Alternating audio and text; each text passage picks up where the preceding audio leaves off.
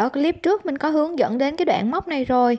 Thì khi kết thúc cái đoạn móc này, tiếp tục móc cho mình vào chân móc của mũi kép đơn ở họa tiết so này nè. Móc vào đây cho mình một mũi dời. Tiếp tục di chuyển kim đến chính giữa của họa tiết so và móc một mũi dời. Móc lên hai mũi móc xích. Hàng móc tiếp theo này các bạn sẽ móc tương tự cho mình giống như cái hàng móc ở phía trên. Tức là họa tiết sò các bạn sẽ móc vào đây cho mình một họa tiết sò tương tự như các cái họa tiết sò ở phía trên mà mình móc nè. Móc vào một mũi kép đơn. Sau đó lên hai mũi móc xích. Và tiếp tục móc vào đó hai mũi kép đơn nữa. Như vậy là ta hoàn tất được họa tiết sò đầu tiên và giống như các cái họa tiết sò thẳng hàng phía trên ha. Tiếp tục lên ba mũi móc xích. Thì ba mũi móc xích này sẽ tạo cái khoảng cách giữa cái họa tiết sò với cái họa tiết bên cạnh này nè sau đó đưa kim vào chính giữa của hai mũi móc đơn ở bên này. Thì hai mũi móc đơn này nó có khoảng cách là ba mũi xích. Ta sẽ móc vào khoảng trống này một mũi móc đơn. Như vậy là khoảng cách của họa tiết sò với cái họa tiết búp ở chính giữa nó cũng cách nhau là ba xích ha. Tiếp tục lên ba mũi móc xích. Và di chuyển kim đến chính giữa của hai mũi móc đơn kế tiếp này nè. Cái khoảng trống ba mũi móc xích này ta sẽ móc vào đây một mũi móc đơn. Tiếp tục lên 3 xích khoảng trống kế tiếp cũng móc một mũi móc đơn vào đây. Lên 3 xích. Tiếp tục khoảng trống kế bên móc một mũi móc đơn. Tương tự lên 3 xích. Khoảng trống kế bên một mũi móc đơn. Và lên 3 xích. Khoảng trống cuối cùng cũng móc một mũi móc đơn. Như vậy là ở cái họa tiết bóp này, hàng móc này ta sẽ có được 6 mũi móc đơn cho 6 cái khoảng trống ở phía trên ha và sẽ tạo ra được cái họa tiết bóp như thế này. Thì từ đây tiếp tục lên 3 mũi xích để tạo cái khoảng cách này. Di chuyển kim đến chính giữa của họa tiết sò kế bên và móc vào đây một họa tiết sò, tương tự như các họa tiết sò ở phía trên, gồm hai mũi kép đơn. Sau đó lên hai mũi móc xích và tiếp tục hai mũi kép đơn nữa.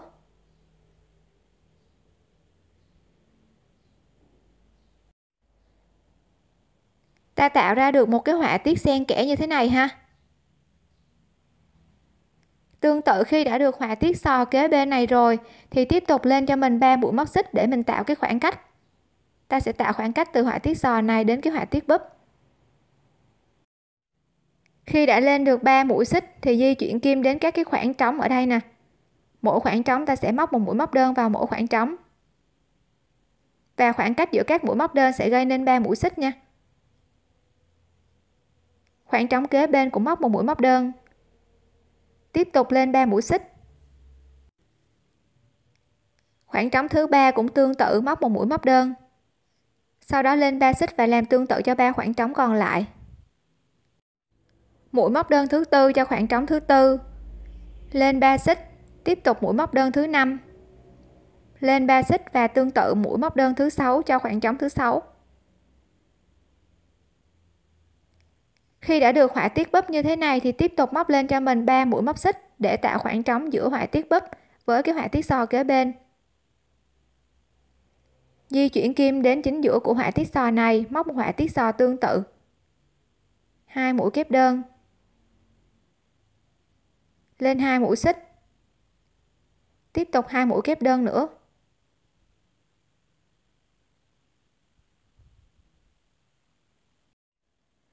Thì ta tạo ra được một họa tiết bắp thứ hai nè. Các bạn sẽ làm tương tự cho các cái khoảng trống còn lại. Móc tương tự cho mình cho đến cái chân móc cuối cùng ở đây. Cũng móc xen kẽ họa tiết so với họa tiết búp. Khi được họa tiết sò rồi lên 3 mũi xích. Móc vào các cái khoảng trống giữa các cái mũi móc đơn này. Mỗi khoảng trống ta sẽ móc một mũi móc đơn. Và các cái mũi móc đơn sẽ cách nhau là 3 mũi xích sau khi đã móc đến cuối hàng, xen kẽ các cái họa tiết sò và họa tiết búp như thế này. Thì tiếp tục gây nên cho mình 3 mũi móc xích. Và móc vào chân móc của mũi họa tiết sò bên này nè. Móc vào chân móc đầu tiên một mũi dời. Di chuyển kim vào chính giữa họa tiết sò và móc một mũi dời. Tiếp tục lên hai mũi xích. Thì hàng móc ở phía trên ta vừa móc nó sẽ tạo ra được 5 khoảng trống như thế này cho cái hàng móc tiếp theo này ha. Thì hàng móc tiếp theo này nó sẽ khác so với các cái hàng móc ở phía trên. Tức là ta sẽ thêm mũi vào cái họa tiết sò này. Móc vào đây một mũi kép đơn. Lên một mũi móc xích. Tiếp tục móc vào cái khoảng trống này hai mũi kép đơn nữa. Kép đơn thứ nhất và kép đơn thứ hai khi được hai mũi kép đơn tiếp tục lên một mũi móc xích và móc vào đó hai mũi kép đơn nữa. Một. Hai. Như vậy là ở đây mình đã có cái họa tiết khác so với hàng móc phía trên ha. 6 mũi kép đơn và khoảng cách giữa hai mũi kép đơn liên tiếp là một mũi móc xích. Khi đã được cái họa tiết này rồi thì tiếp tục móc lên 3 mũi móc xích. Thì ba mũi móc xích này ta sẽ tạo khoảng cách giữa họa tiết sò này với cái họa tiết bóp kế bên á đây, cái khoảng cách này nè. Di chuyển kim đến các cái khoảng trống mà ta tạo ở họa tiết bóp này. Mỗi khoảng trống ta sẽ móc một mũi móc đơn vào mỗi khoảng trống. Và khoảng cách sẽ cách nhau là 3 mũi xích. Tiếp tục khoảng trống thứ hai, móc vào một mũi móc đơn. Lên 3 xích. Khoảng trống thứ ba, móc một mũi móc đơn.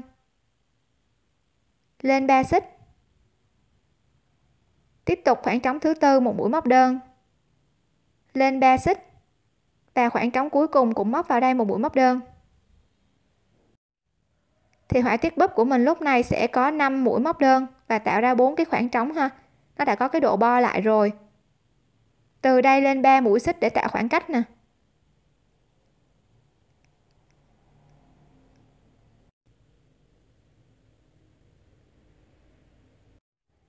Di chuyển kim đến chính giữa của họa tiết sò kế bên và móc cho mình vào đây 6 mũi kép đơn, tương tự như 6 mũi kép đơn ở đây. Hai mũi kép đơn đầu tiên, kép đơn thứ nhất và kép đơn thứ hai. Móc lên một mũi móc xích. Tiếp tục mũi kép đơn thứ ba và thứ tư. Lên một mũi móc xích. Mũi kép đơn thứ năm và thứ sáu.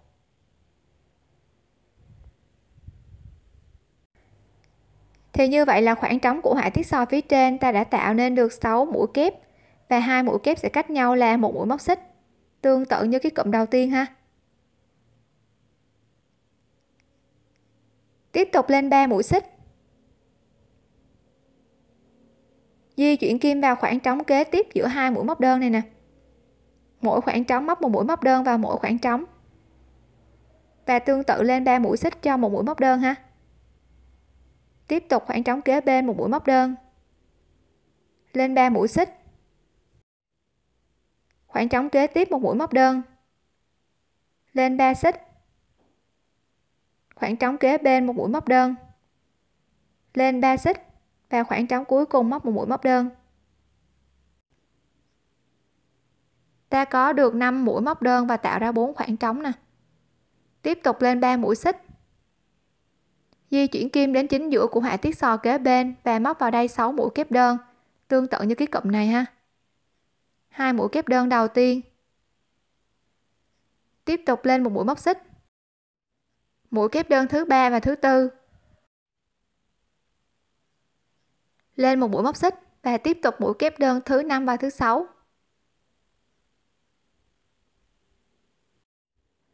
Ta cũng tạo ra được 6 mũi kép đơn cách nhau là một mũi xích tiếp tục lên 3 mũi móc xích. Và di chuyển kim đến cái họa tiết bóp này. Mỗi khoảng trống móc một mũi móc đơn vào mỗi khoảng trống và làm tương tự cho mình đến cuối hàng. Thì hàng móc này ta sẽ có xen kẽ các cái mũi móc như thế này ha. Mỗi cái họa tiết sò này sẽ có 6 mũi kép đơn nè. Và ở chính giữa ta sẽ tạo ra bốn cái khoảng trống. Tương tự đến cuối hàng.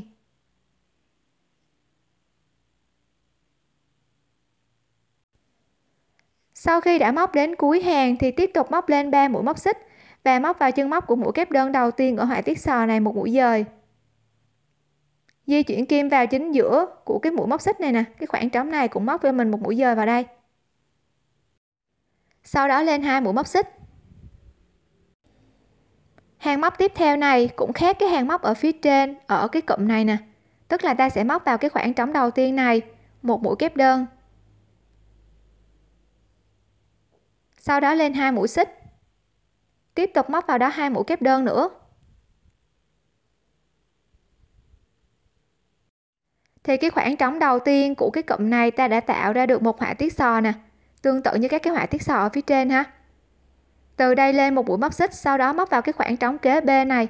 Móc vào đây cho mình một họa tiết sò tương tự nè. Gồm hai mũi kép đơn. Sau đó lên hai mũi xích và tiếp tục hai mũi kép đơn nữa để ta tạo ra các cái họa tiết sò, tương tự như ở phía trên ha. Thì lúc này cái cụm móc của mình nó sẽ ra như thế này nè. Hai họa tiết sò và xen kẽ giữa hai họa tiết sò này sẽ là một mũi móc xích ha. Đây cách nhau là một mũi móc xích như thế này, sau đó tiếp tục làm một họa tiết sò nè. Thì khi đã được hai họa tiết sò xen kẽ là một mũi xích như thế này, tiếp tục lên ba mũi móc xích để tạo khoảng cách. 1 2 và 3 di chuyển kim vào các cái khoảng trống ở họa tiết bóp này, và mỗi khoảng trống ta sẽ móc vào một mũi móc đơn. Lên 3 xích. Tiếp tục móc đơn thứ hai cho khoảng trống thứ hai. Lên 3 xích. Móc đơn thứ ba cho khoảng trống thứ ba. Lên 3 xích.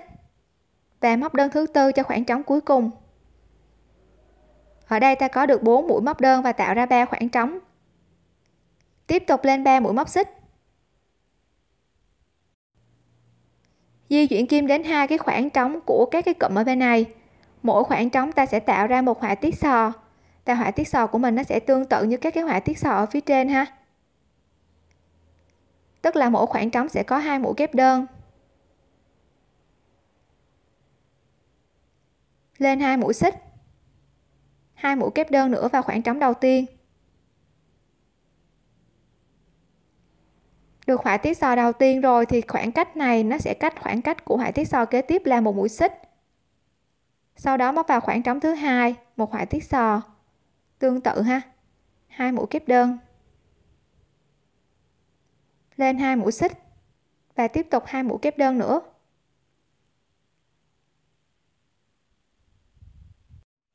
Ta có được hai họa tiết sò và khoảng cách giữa hai họa tiết sò này cũng cách nhau là một mũi xích nè lên 3 mũi xích. Di chuyển kim đến 4 khoảng trống của cái họa tiết bóp ở phía trên. Mỗi khoảng trống móc một mũi móc đơn, và cũng cách nhau là 3 mũi xích. Lên 3 xích. Móc đơn thứ hai cho khoảng trống thứ hai. Lên 3 xích. Móc đơn thứ ba cho khoảng trống thứ ba. Lên 3 xích và móc đơn thứ tư cho khoảng trống cuối cùng khi đã hoàn tất được họa tiết bóp thì tiếp tục móc lên 3 mũi móc xích. Và di chuyển kim đến hai cái khoảng trống này ha. Tạo hai họa tiết sò cho hai khoảng trống.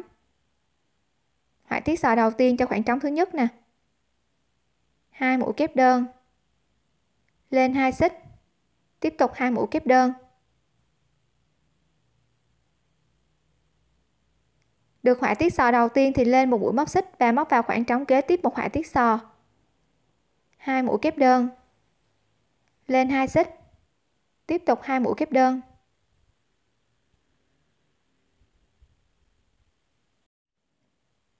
Ta tạo ra hai họa tiết sò cho hai khoảng trống nè.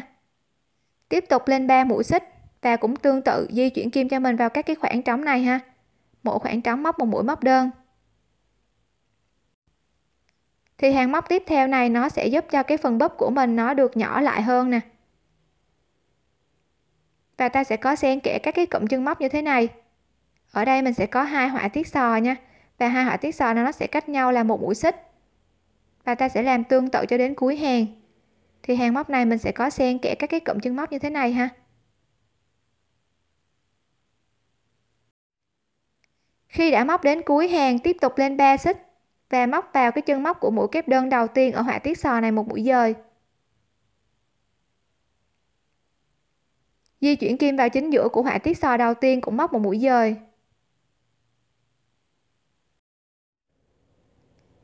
Hàng móc tiếp theo này nó cũng khác cái hàng móc ở phía trên á. Tức là cái cụm này ta sẽ có cái khoảng cách của họa tiết sò nó khác nhau ha. Lên hai mũi xích và tạo cho mình cái khoảng trống đầu tiên một họa tiết sò nè. Họa tiết sò đầu tiên ta sẽ gồm một mũi kép đơn. Lên hai mũi xích. Tiếp tục hai mũi kép đơn nữa.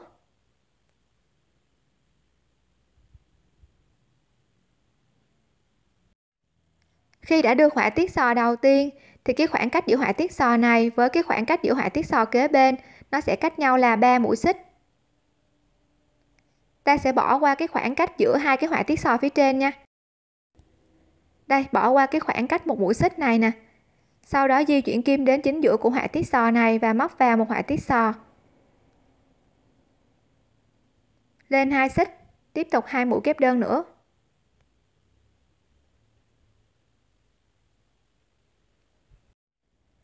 Như vậy là ở đây khoảng cách giữa họa tiết sò của mình nó sẽ cách nhau là 3 mũi xích ha. Khác với cái hàng móc phía trên là nó chỉ cách nhau một mũi xích thôi nè. Thì ở đây mình sẽ cách nhau là 3 mũi xích. Sau đó lên 3 mũi móc xích và di chuyển đến khoảng trống của bốn cái mũi này nè. Bốn cái khoảng trống này, mỗi khoảng trống ta sẽ có một mũi móc đơn vào mỗi khoảng trống. Các cái mũi móc đơn cũng móc lên 3 mũi xích ha. Lên 3 xích tiếp tục mũi móc đơn thứ ba. Ở đây ta có được hai cái khoảng trống cho ba mũi móc đơn ha. Tiếp tục móc lên ba mũi móc xích. Sau đó di chuyển kim đến chính giữa của các cái họa tiết sò ở đây. Ta sẽ có hai họa tiết sò. Và móc cho mình vào khoảng trống đầu tiên này, một họa tiết sò.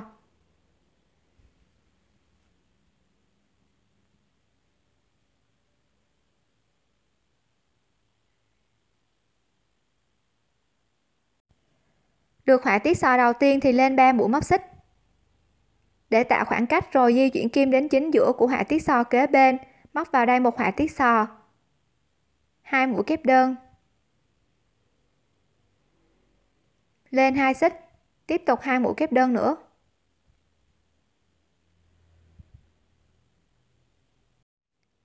Ở cụm này mình cũng có hai họa tiết sò và cách nhau là ba mũi xích nè ta sẽ có cái họa tiết xen kẽ như thế này ha, cho cái hàng móc này. Thì các bạn sẽ làm tương tự cho mình các cái cụm này ha. Ở cái họa tiết bóp này mình sẽ có 3 mũi móc đơn cho hai khoảng trống.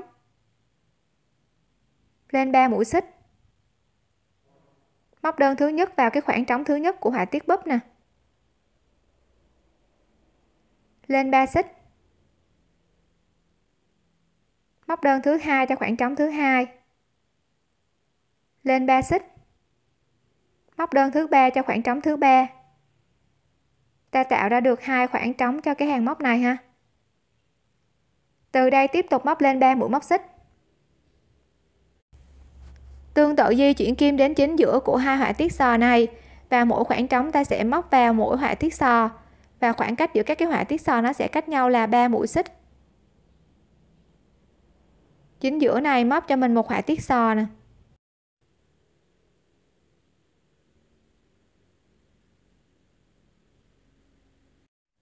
Khi được họa tiết sò đầu tiên thì tiếp tục lên 3 mũi móc xích, thay thế cho khoảng cách giữa một mũi móc xích ở phía trên.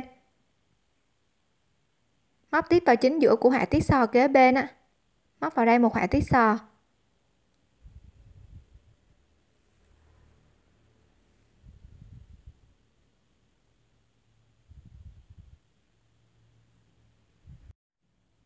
Như vậy là ở đây ta sẽ có hai họa tiết sò và cách nhau là ba mũi xích và ở chính giữa ta sẽ tạo ra hai khoảng trống ha. Ta sẽ có cái cụm xen kẽ như thế này. Các bạn sẽ làm tương tự cho mình cho đến cái khoảng cách cuối cùng. Được họa tiết sò rồi, móc lên 3 mũi móc xích. Móc vào các cái khoảng trống của họa tiết búp. Mỗi khoảng trống là một mũi móc đơn. Sau đó di chuyển kim đến các cái họa tiết sò này và tạo cái khoảng cách 3 mũi xích ở đây. Lên 3 xích làm tương tự cho đến cuối hàng.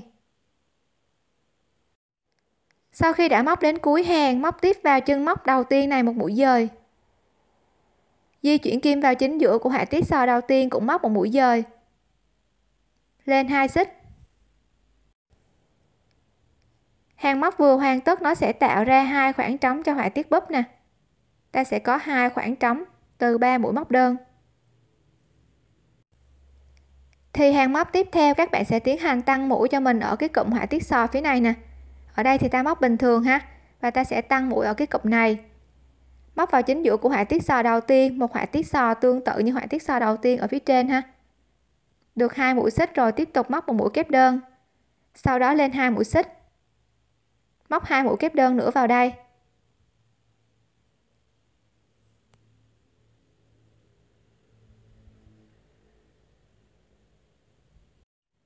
Khi được họa tiết sò đầu tiên rồi thì tiếp tục móc cho mình lên một mũi móc xích. Và ở cái khoảng cách giữa hai họa tiết sò phía trên nè, cái khoảng cách 3 mũi móc xích này, các bạn sẽ đâm kim cho mình vào cái khoảng trống này và tạo cho mình một họa tiết sò gồm hai mũi kép đơn. Lên hai mũi xích. Tiếp tục hai mũi kép đơn nữa.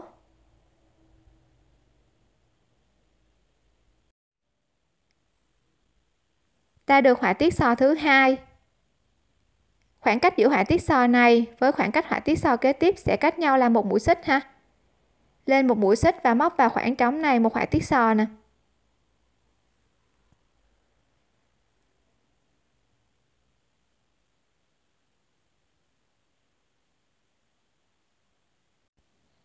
Thì ở cái cụm này mình sẽ tạo ra được ba họa tiết sò.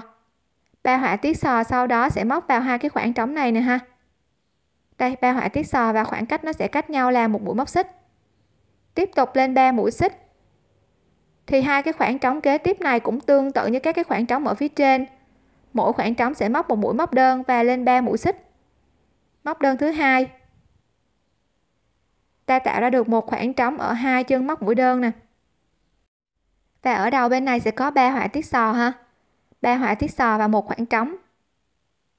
Lên 3 xích và tiếp tục móc vào ba cái khoảng trống này nè. Mỗi khoảng trống ta sẽ tạo ra một họa tiết sò. Khoảng trống đầu tiên một họa tiết sò. Hai mũi kép đơn. Lên hai xích. Tiếp tục hai mũi kép đơn nữa.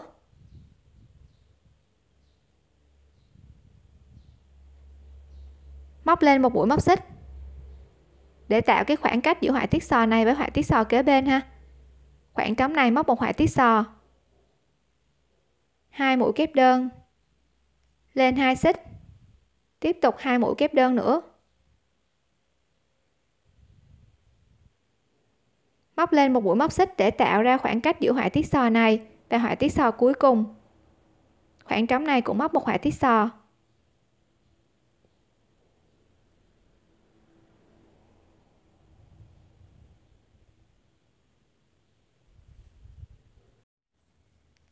Ta được ba họa tiết sò xen kẽ với nhau.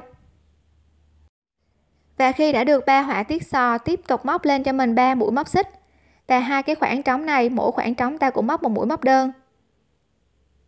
Khoảng trống đầu tiên móc một mũi móc đơn, lên 3 xích.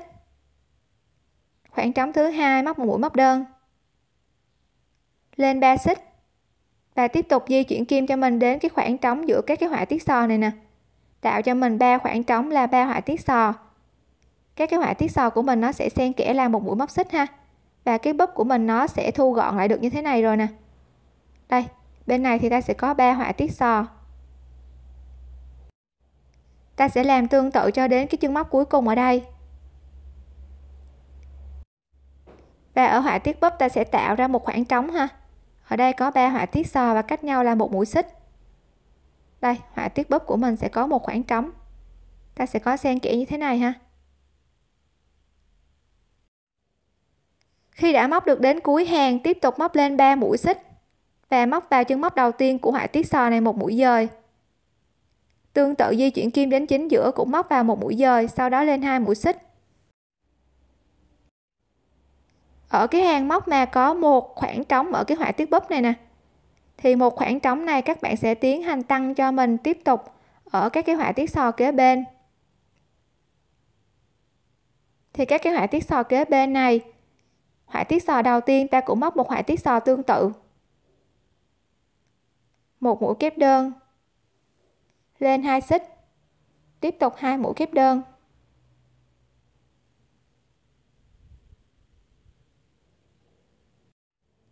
Khi được họa tiết sò đầu tiên rồi, thì để tạo họa tiết sò thứ hai, các bạn sẽ móc lên cho mình 3 mũi móc xích.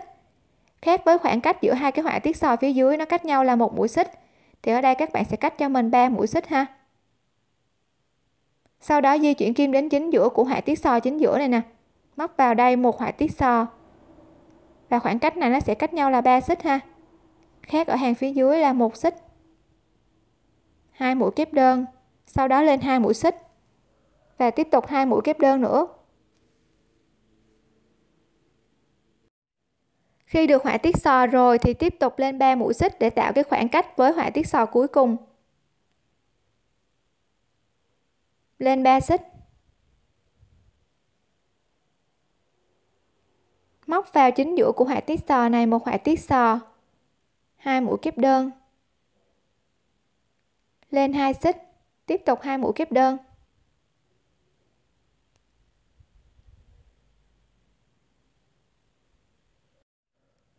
Ta được ba họa tiết sò, và khoảng cách giữa ba họa tiết sò này cách nhau là 3 mũi xích. Khác với hàng móc phía dưới là một mũi ha. Từ đây tiếp tục móc lên 3 mũi xích, và móc vào khoảng trống cuối cùng của cái họa tiết búp này nè. Cái khoảng trống cuối cùng này móc vào một mũi móc đơn. Lên 3 xích. Di chuyển kim đến các cái họa tiết sò này và cũng tạo ra ba họa tiết sò và khoảng cách giữa hai họa tiết sò nó sẽ cách nhau là 3 xích. 1 2 lên 2 xích. Tiếp tục hai mũi kép đơn nữa. 1 và 2 cách nhau là 3 mũi xích. Họa tiết sò kế bên cũng tạo một họa tiết sò tương tự vào dính giữa.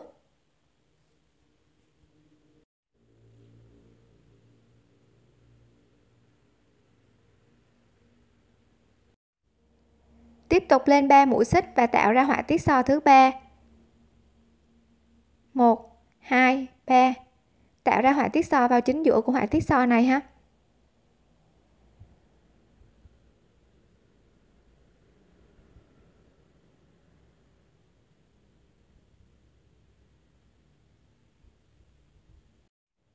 Ta được ba họa tiết so và cách nhau là 3 mũi xích. Tiếp tục lên 3 mũi xích và móc vào cái khoảng trống cuối cùng của họa tiết bóp này một mũi móc đơn. Móc vào đây một mũi móc đơn. Sau đó lên 3 mũi xích. Và tương tự cho cái cụm sò bên này cũng tạo ra ba họa tiết sò và cách nhau là 3 mũi xích.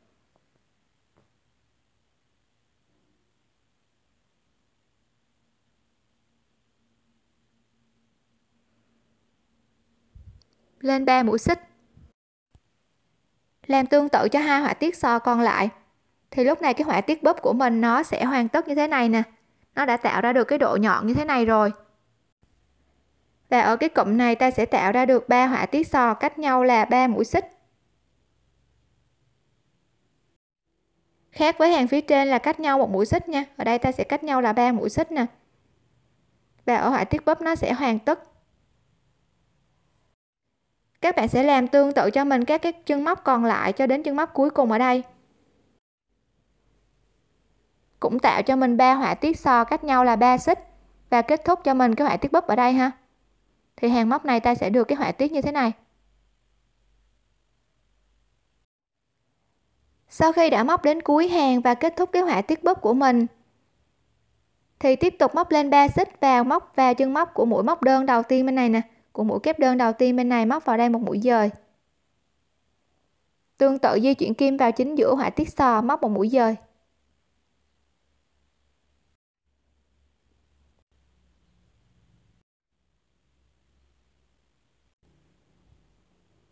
Lúc này cái phần chân váy của mình nó đã có cái độ xòe rộng ra như thế này, và cái họa tiết búp của mình nó đã hoàn tất. Bây giờ để muốn kết thúc được cái họa tiết búp này và tạo ra cái họa tiết búp cho hàng móc tiếp theo á thì bây giờ tiến hành móc cho mình cái hàng móc tiếp theo ha.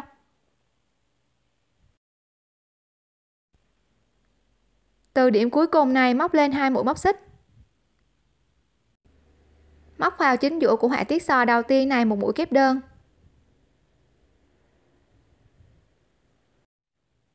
Sau đó lên 3 mũi móc xích.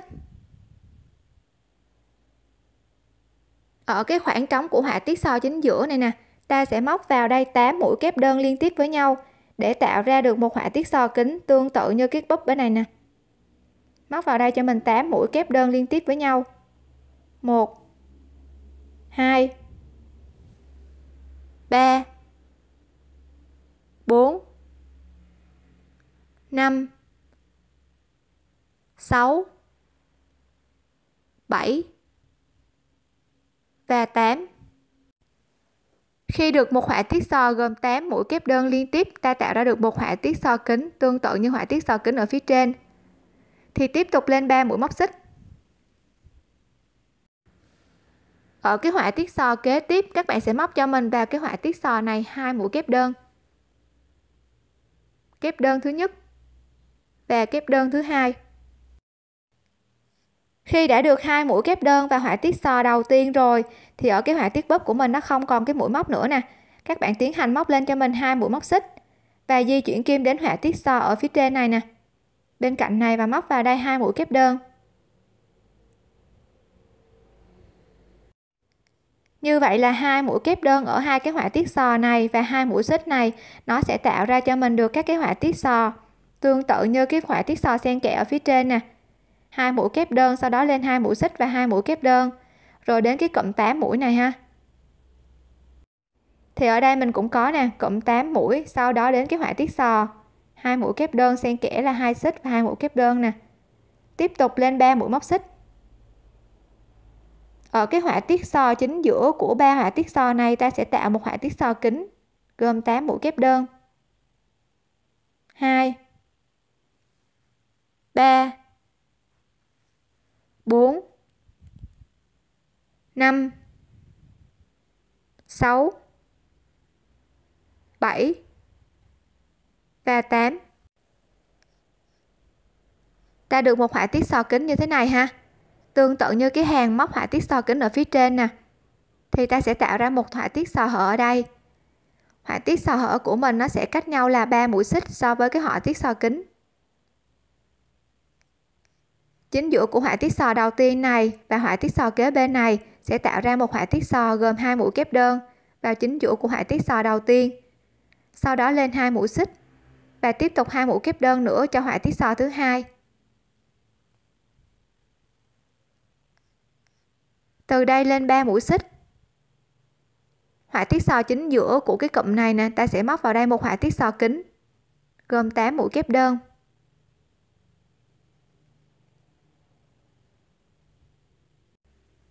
Ta sẽ làm tương tự cho đến cuối hàng ha. Thì lúc này cái hàng móc của mình nó tạo ra được các cái cụm xen kẽ nè. Họa tiết sò kính, sau đó là một họa tiết sò hở. Đây, họa tiết sò hở của mình nó sẽ tạo ra từ hai cái họa tiết ở giữa này nè. Để kết thúc được cái họa tiết ở búp của mình ở phía dưới á. Và cái hàng móc mà ta đang móc nó sẽ tương tự giống như cái hàng móc ở phía trên này. Họa tiết sò kính xen kẽ là họa tiết sò hở nè và khoảng cách là cách nhau 3 mũi xích, thì tương tự ở đây cũng có họa tiết so kính, và họa tiết so hở cách nhau là 3 mũi xích. Đây là họa tiết so hở của mình ha. Tiếp tục là 3 mũi xích, sau đó là họa tiết so kính, và làm một họa tiết so hở ở đây. Ta sẽ làm tương tự cho đến cuối hàng.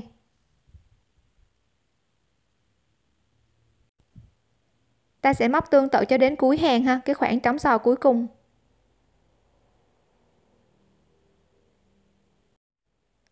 Sau khi đã móc đến cuối hàng, họa tiết sò cuối cùng của mình cũng có hai mũi kép đơn và lên hai xích nè. Thì ban đầu mình cũng có hai mũi kép đơn ở đây, móc vào chân móc này một mũi dời. Sau đó lên một mũi móc xích. Như vậy là phần chân váy của mình nó đã có cái độ xòe ra và tạo các cái họa tiết búp như thế này ha. Hàng móc mà ta vừa kết thúc nó sẽ tương tự giống như cái hàng móc đầu tiên của cái họa tiết búp phía trên nè họa tiết sò kính xen kẽ là một họa tiết sò hở. Thì hàng móc phía trên này ta cũng có một họa tiết sò kính. Đây, họa tiết sò kính 8 mũi kép đơn. Xen kẽ là một họa tiết sò hở và khoảng cách là 3 mũi móc xích ha. Thì từ đây các bạn sẽ làm tương tự cho mình nè. Tạo ra cho mình các cái họa tiết búp tương tự cho các cái hàng ở phía dưới. Và ta cứ tăng dần đều cho mình ở các cái hàng móc này ha. Tạo ra một họa tiết búp thì cái họa tiết sò ở phía trên này các cái cụm này nó sẽ cách nhau và họa tiết sò của mình với họa tiết bóp nó sẽ xen kẽ với nhau cho các cái hàng móc ở phía dưới. Thì bây giờ từ đây các bạn sẽ móc tương tự cho mình các cái họa tiết bóp ở phía dưới ha. Móc tương tự giống như cái hàng ở phía trên này nè. Điểm kết thúc của cái hàng móc mà ta mới móc, nó sẽ nằm ở chân móc thứ hai của cái cụm sò này. Thì các bạn sẽ tiến hành di chuyển kim ngược lại cho mình móc lên một mũi móc xích và di chuyển kim ngược lại vào cái khoảng trống chính giữa này, móc vào một mũi dời. Lúc này mũi móc của mình nó đã nằm ở chính giữa của họa tiết so phía trên rồi. Thì tiếp tục lên hai mũi xích và móc cho mình vào đây họa tiết sò đầu tiên. Họa tiết sò đầu tiên của mình nó sẽ luôn luôn là một mũi kép đơn ở đầu tiên ha. Tính luôn cả hai mũi móc xích đầu tiên mà ta gây nên á, thì ta sẽ có hai thân chân móc ở đây móc vào đây một mũi kép đơn. Sau đó lên hai mũi móc xích. Tiếp tục hai mũi kép đơn nữa vào cái khoảng trống ta vừa móc.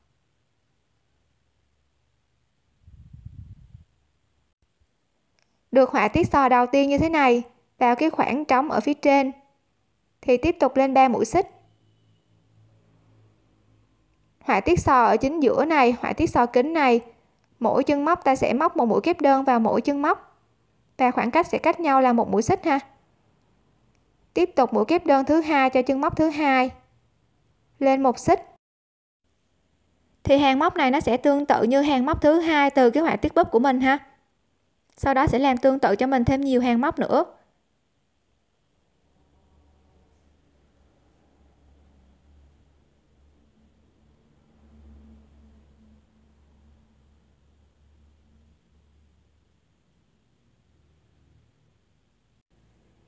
Sau khi đã tạo thêm được một hàng họa tiết búp như thế này, tương tự như họa tiết búp ở phía trên ha, thì lúc này cái phần chân váy của mình có các cái họa tiết búp xen kẽ với nhau như thế này nè. Đây. Và để ta kết thúc được cái họa tiết búp cho cái hàng móc cuối cùng để kết thúc cái phần chân váy á, các bạn tiếp tục móc cho mình vào cái chân móc đầu tiên của cái họa tiết sò đầu tiên bên này một mũi dời. Di chuyển kim vào chính giữa và cũng móc một mũi dời lên hai mũi móc xích. Tương tự cho cái điểm kết thúc của họa tiết búp phía trên nè. Điểm kết thúc của mình sẽ có một họa tiết sò được tạo ra bởi hai cái khoảng cách này ha. Thì ở đây các bạn cũng móc tương tự cho mình ha. Chân cuối cùng và chân đầu tiên của họa tiết sò này sẽ móc hai mũi kép đơn nè. Tức là chân đầu tiên ta sẽ móc một mũi kép đơn thôi nha. Ở đây ta sẽ có hai thân chân móc nè. Lát nữa cuối hàng ta sẽ nối với cái phần này ha từ đây móc lên một mũi móc xích. Khoảng trống kế tiếp mà ta gặp sẽ là khoảng trống 3 mũi móc xích giữa hai cái họa tiết sò ở phía trên. Thì các bạn sẽ móc vào đây cho mình một họa tiết sò. Nhưng họa tiết sò lần này nó sẽ khác các cái họa tiết sò ở phía trên. Các bạn sẽ móc cho mình vào cái khoảng trống này hai mũi kép đơn. Một. Hai. Sau đó móc lên một mũi móc xích. Và móc tiếp vào đó hai mũi kép đơn nữa. Thì cái họa tiết sò ở cái phần viền chân váy này, mình sẽ có một mũi móc xích vào chính giữa thôi nha. Tiếp tục lên một mũi móc xích và chính giữa của họa tiết sò này cũng tạo cho mình một họa tiết sò. Hai mũi kép đơn. Khoảng cách chỉ là một mũi móc xích. Tiếp tục hai mũi kép đơn nữa. Ta được họa tiết sò thứ hai nè, và khoảng cách giữa các cái họa tiết sò sẽ cách nhau là một mũi xích và chính giữa của họa tiết sò ta cũng có một mũi xích thôi nha. Tiếp tục lên một mũi móc xích.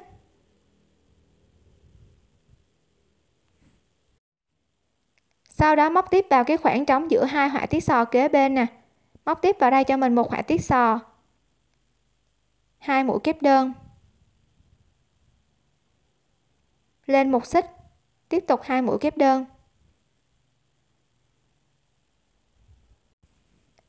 Như vậy là hàng móc phần viền mình sẽ tạo ra được các cái họa tiết sò. Và chính giữa của họa tiết sò nó chỉ cách nhau là một mũi xích. Khác với các cái hàng móc phía trên là hai mũi nè. Thì ở đây toàn bộ ta sẽ cách nhau là một mũi xích thôi nha. Khoảng cách giữa các họa tiết sò cũng cách nhau là một mũi xích. Đến đây rồi thì tương tự như cái phần kết thúc của họa tiết bắp của hàng phía trên, thì ta sẽ tạo ra một họa tiết sò giữa hai cái họa tiết sò này nè. Móc lên một mũi móc xích. Họa tiết sò đầu tiên sẽ móc hai mũi kép đơn vào đây.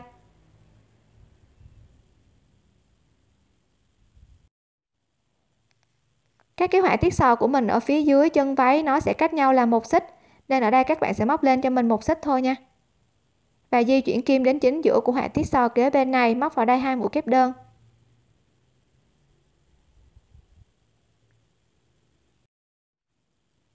Thì họa tiết búp của mình nó sẽ hoàn tất như thế này. Cách nhau là một mũi xích nha.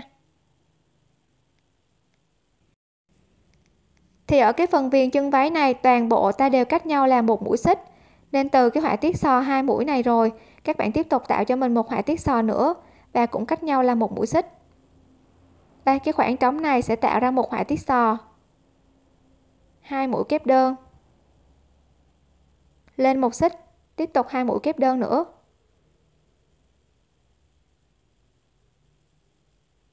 Khi tạo ra được họa tiết sò cho khoảng cách thì tiếp tục lên một mũi móc xích. Móc vào chính giữa của họa tiết sò chính giữa này nè móc tiếp vào đây cho mình một họa tiết sò.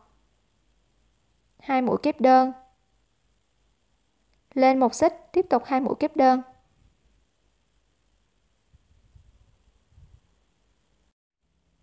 Từ đây tiếp tục móc lên một mũi xích. Khoảng trống kế tiếp cũng tương tự móc vào một họa tiết sò.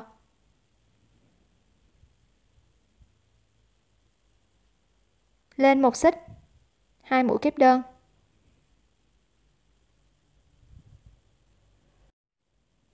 Khi tạo ra được ba họa tiết sò liên tiếp với nhau, thì tiếp tục kết thúc cho mình cái họa tiết bắp phía trên. Ta sẽ tạo ra một họa tiết sò từ hai cái chân móc nằm chính giữa của hai họa tiết sò phía trên này nè. Tức là họa tiết sò thứ nhất ta sẽ móc hai mũi kép đơn lên một mũi xích, họa tiết sò thứ nhất móc hai mũi kép đơn.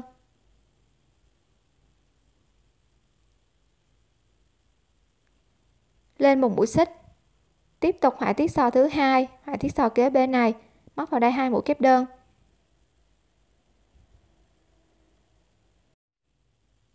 Thì lúc này cái phần viền chân váy của mình nó đã hoàn tất như thế này ha.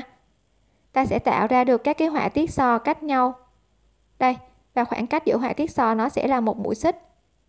Và điểm chính giữa của họa tiết sò nó cũng cách nhau là một mũi xích nè.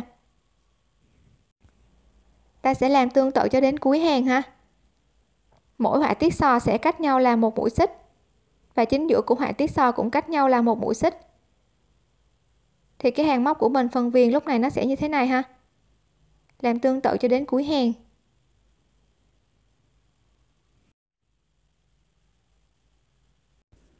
Ở điểm kết thúc của họa tiết búp thì ta sẽ tạo ra hai mũi kép đơn cho hai bên nè. Chính giữa là một mũi móc xích. Sau đó lên một mũi móc xích và tiếp tục các cái khoảng trống này nè khoảng trống đầu tiên sẽ móc một họa tiết sò. Hai mũi kép đơn. Sau đó lên một xích. Tiếp tục hai mũi kép đơn nữa.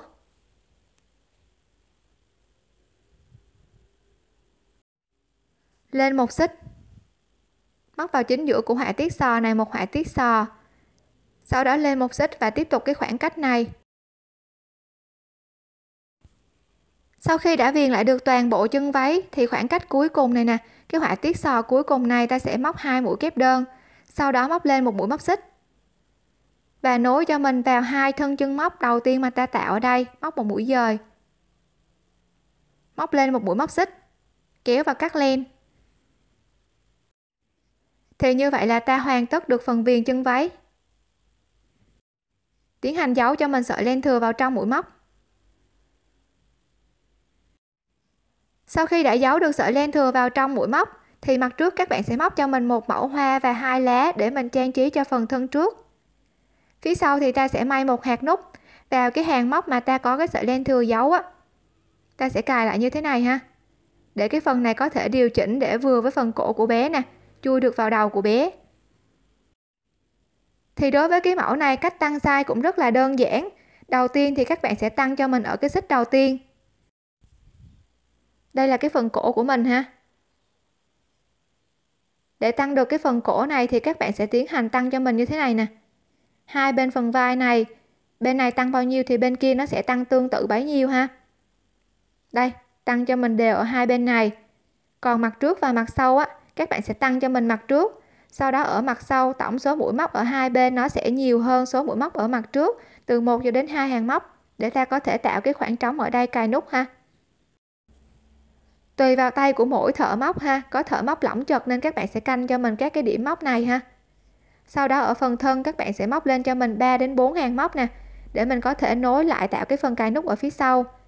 Và móc thêm nhiều hàng móc nữa, cho đến khi bề ngang từ hai cái điểm bên này nè, từ góc vuông bên này đến góc vuông bên kia, ngang bằng được với phần ngực của bé. Ta sẽ tăng thêm nhiều hàng móc nữa ha.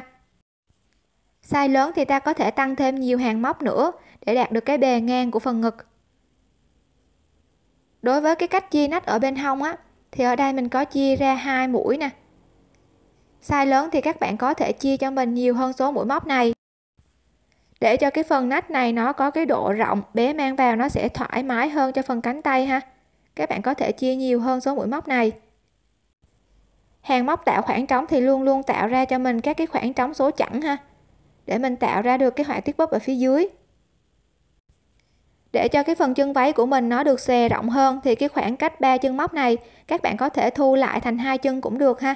Hoặc là ba chân, hai chân, ba chân, hai chân xen kẽ với nhau để cho cái phần chân váy của mình nó được xòe rộng ra hơn. Và các bạn sẽ canh chỉnh cho mình nè. Từ cái hàng móc mà ta tạo ra các cái khoảng trống ở đây cho đến các cái hàng móc mũi xò ở phía dưới, nó sẽ nằm ở từ dưới ngực của bé cho đến phần trên rúng của bé một chút ha. Nó sẽ nằm ở cái phần này thì clip đầu tiên mà mình hướng dẫn á, chiều cao từ cái phần vai áo cho đến cái hàng móc mũi sò cuối cùng mà ta thêm này, nó sẽ bằng được đến phần rúng của bé. Còn cái họa tiết sò ở phía dưới, các cái họa tiết búp ở phía dưới cùng với họa tiết sò phía dưới, nó sẽ nằm từ cái phần rúng cho đến cái phần đầu gối của bé ha. Chiều cao từ phía trên này cho đến cái hàng móc mà ta chia khoảng trống là chiều cao từ phần vai đến phần ngực. Còn chiều cao từ cái phần ta chia khoảng trống đến cái hàng móc sò ở phía dưới nó sẽ là cái khoảng cách từ ngực cho đến phần rốn, trên rốn một chút ha. Còn chiều cao của cái họa tiết búp, các cái họa tiết búp mà ta tạo ở phía dưới nó sẽ có cái độ dài tầm 10 phân. Đây, chiều cao của cái họa tiết búp của mình nó sẽ tầm 10 phân ha.